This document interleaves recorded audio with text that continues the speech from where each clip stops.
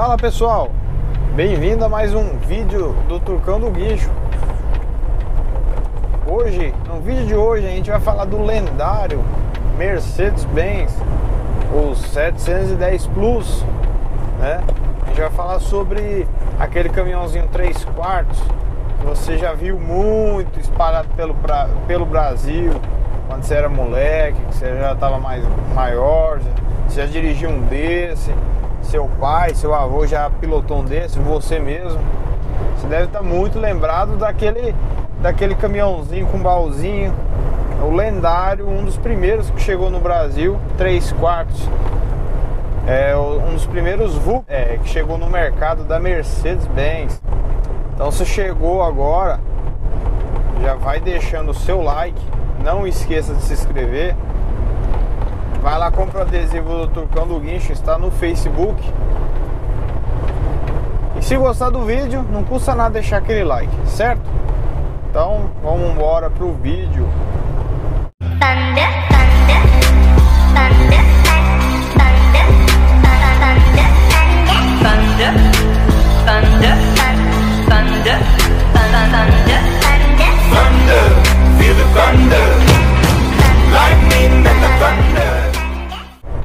Bom pessoal, meu nome é Demerson, para quem não me conhece, conhecido como Turcão. Trabalho no caminhão, caminhão de guincho leve e pesado. É, o canal já tem um ano e, e meio que eu ativei o canal sobre no mundo de guincho, porque tem muitas dúvidas, muitas é, pessoas estão tá perdidas no mundo e infelizmente no YouTube não encontrava nada relacionado a guincho. Eu sei porque quando eu comecei com guincho, eu ia no YouTube e não via. Eu via só uma remoção, um capotamento, é, eu via é, pessoas filmando o que alguns guincheiros faziam algumas coisas muito extravagantes, enfim. Aí eu pensei, falei, poxa, eu acho que eu vou criar um canal específico para guincho para auxiliar e ajudar quem está perdido no mundo, quem vai começar, certo? Se você chegou agora e tiver muitas dúvidas aí, pesquisa vídeos aí que tem muita dúvida, tem muita pergunta aí que você vai, vai assistir em, em vários vídeos, certo? Como é, se compensa comprar um caminhão guincho, tem vários vídeos aí. Eu tenho mais de 200 vídeos. Certo? Hoje a gente vai falar sobre o Mercedes-Benz. É uma pergunta do Winston. Winston. Winston Willie. É, eu acho que é isso mesmo. Ele fez uma pergunta, Turcão, faz um vídeo falando sobre o, o Mercedes-Benz, o 710 Plus. É, você, eu tô acostumado a ver alguns, né? Não vejo assim muitos como, como o Delivery, que eu trabalho, por exemplo, o Ford Cargo, é, o Acielo, ou até os Iveco HR, tem muito mais do que os Mercedinhos, né? Os semibicudinhos, né? O 710, pessoal, ele, ele veio para o Brasil em 1988 eles foram vendidos mais de 90 mil unidades no país, certo? E na época ele foi um dos 20, é, ele vendeu 25 mil unidades a mais que os concorrentes, né, que tinha na época. Em 2010, o 710 Plus surgiu na preferência entre os leves, até outubro, foram vendidos 5.478 contra 4.355 dos principais concorrentes. Então ele foi um caminhãozinho que fez muita história para muitas pessoas que começou no ramo de guincho. De guincho não, desculpe, de baú.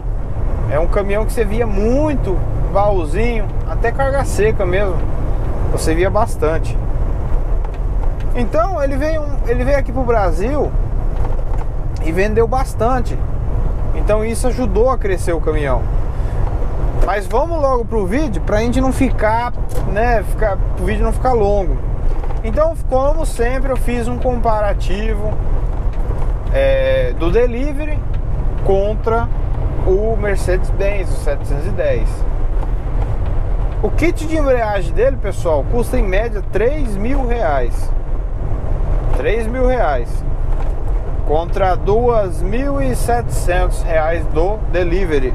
Então ele é um pouco mais caro que o delivery. O amortecedor dianteiro dele, pessoal, custa 300 reais e 15. 315 reais. Desculpa, 315 reais. Originais, né? Não tem essa vantagem. Amortecedor original Mercedes-Benz. Contra o kit de amortecedor dianteiro do delivery custa 570 e não é original. É de uma marca conhecida que é boa também, que fornece para várias empresas de veículos. O disco de freio, pessoal, porque esse caminhão ele tem, ele, é, esse 710, ele, o sistema dele de freio é a disco na dianteira. Então o disco dele você vai pagar 229 cada um. Já a pastilha de freio, o kit vem duas, né, para as duas rodas dianteira. Custa 99 reais. De uma marca legal também. Eu achei barato pra caramba. Poxa, se é, você pega muita chuva, então você pega um trânsito caótico, toda hora você tem que ficar freando, que não tem como você falar assim, ah, eu vou ficar só usando freio motor, não tem como. A não ser que você anda aqui, por exemplo, igual aqui, ó. Tô andando aqui na rodovia de boa, não tem trânsito. Aqui é só no freio motor. Em alguns pedaços próximos de, de, de radar, aí tem que segurar no freio. Então ele custa 99 reais para as rodas dianteiras. Já a lona de freio dianteira do delivery, você vai pagar 154, que não é muito caro também não, mas nesse ponto o Mercedes-Benz sai na vantagem também. Os pneus, pessoal, é o mesmo, é o mesmo do delivery. Então não adianta falar preço que todo mundo já sabe. Custa 670 reais em média cada um, com vezes 6 dá 4.200. Tá a mesma coisa, a mesma medida. Então pneu mesmo. O retrovisor dele, pessoal, lado esquerdo, custa 130 contra 240 do delivery. Então achei preço bom. A turbina dele, pessoal, a turbininha dele, caso der um problema aí e tal, custa em média 2.790 reais contra 2.200 do delivery. Então, nesse ponto, Mercedinho sai um pouquinho mais caro. É, o motor de partida, pessoal, de, do Mercedes custa 1.100 contra mil reais do delivery. Então, se você parar para pensar, poxa, eu tenho um caminhão Mercedes-Benz, um caminhão alemão, né? Eu vou ter um caminhãozinho com é, com sangue alemão. E o Volkswagen também é, mas o Volkswagen tem bastante em vista, né? E custar a diferença muito pouca do motor de partida é bom. A ponteira de cardan dele, pessoal, custa 300 reais. Contra a ponteira de cardan do, do Mercedes, do Delivery, custa 595. Então é um pouquinho mais cara, né? Olha a carga gigante, hein? Então já é um pouco mais cara. Então, pessoal, é um caminhão que você encontra aí na faixa dos seus 50 mil reais. É um caminhão é, que dá para você ganhar uma graninha. Então, por exemplo, se você não quiser um 2010 aí no chassi, você vai pagar seus 50 mil, 60 mil. Já um delivery 2010 aí, um 850, por exemplo você vai pagar uns 60, 70, vai depender de como vai estar o estado de conservação dele. Então, é, uma vantagem também que eu vejo é o índice de roubo desses caminhãozinhos Mercedes é menos um pouco que o delivery. Por quê? Porque o delivery tem muito. Aqui, ó, tá eu aqui, esse caminhão aí tá do seu lado, ó, do seu lado direito, é um delivery também. Então você quase não vê muito Mercedes-Benz 710, 712. você quase não vê. Então isso já é lógico que vai acontecer de correr um risco né, de ser roubado, mas a chance é um pouquinho menos. Então, pessoal, o que, que eu assim eu perguntei para pessoas que têm, muitas pessoas me respondeu, mas trabalha com baú, como o Ivequinho. É, o consumo dele, o que eu, um ponto positivo dele que eu achei, ai buraqueira, é o consumo dele.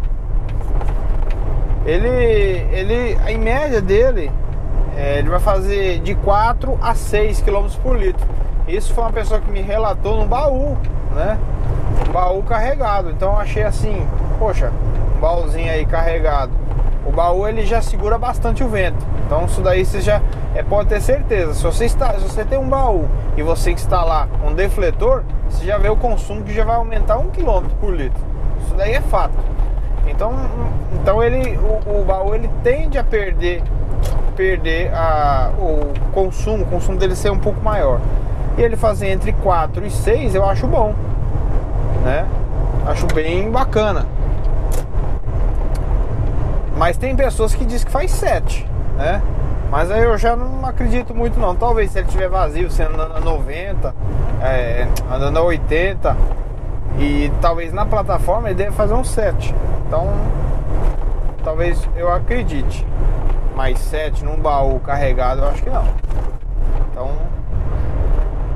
as peças dele, pessoal, por ele ter várias peças que servem dos 608, de vários Mercedinhos aí, você acha, você acha fácil até. É, outra, outro ponto que me falaram também que ele não costuma dar problema, é um caminhão muito valente, roda aí fácil, fácil os 500 mil aí sem dar nenhum problema. Problema assim de desgaste, desgaste natural, isso é normal. Mas me falaram que é muito pouco ele dá esse tipo de problema. O motor dele é confiável, é um motor Mercedes-Benz, é o motor dele é confiável. Outro ponto positivo também que eu achei dele é a revenda. Então ele é um caminhão que muita gente procura. Então é um caminhão que é fácil vender. Por ele ser um caminhão bem robusto, é um caminhão de peças barata, um caminhão que não dá problema, ele fica sendo fácil para revender. Agora os pontos negativos, pessoal, que eu achei, é, as peças dele, as peças dele eu achei um pouquinho cara em concessionária. E fora também que é meio difícil você achar. Mas quando acha também é cara. Então é um ponto negativo. É, em vista que ele saiu de linha e tudo mais, por causa do a Cielo aí que está do seu lado, ó, 915. Então isso daí acaba afetando bastante o a compra do veículo. Mas também, poxa, você tem a oficina ali do, do senhor fulano ali, o cara bom, o cara te cobra um preço bom, você vai mexer com concessionária é, que não tem a peça, ou se tem é um absurdo. Aí não. Um ponto também que me falaram é o desconforto da cabine dele. Ele é muito secão. É, não tem um, um, conforto como esses caminhões de hoje em dia. Mas também é um caminhão bem ultrapassado para a época, né? Mesmo 2010, 11, 12, é, já era um caminhão assim mais ultrapassado. O design dele era mais ultrapassado. É, que é um ponto negativo também que eu vi também o design dele, por ele ser meio quadradão e tal, já tá bem ultrapassado. Então pessoal, esse foi o vídeo do, do Mercedes-Benz. Eu tentei fazer algumas pesquisas mais aprofundadas dentro do caminhão e as que eu achei foi essas, né? Então espero que se você tem uma dúvida para comprar, se vale a pena, eu acho que vale sim. Mas com a demanda, né? Assim, se você for trabalhar no particular e tudo mais, aí é um baita caminhão guerreiro. Mas se você for mexer com seguradora, não que ela não vá, tipo, é, é, você não vai conseguir agregar o seu caminhão. Você vai, Mas vai depender da região. Muita gente pergunta como é que eu faço, Turcão, para agregar meu caminhão na Porto Seguro e tudo mais. Bom, pessoal, isso daí eu já expliquei, tem vários vídeos explicando. Não adianta ficar falando nesse vídeo. Tem vídeo explicando. É, já me perguntaram também é, qual o tipo de caminhão que as seguradoras agregam.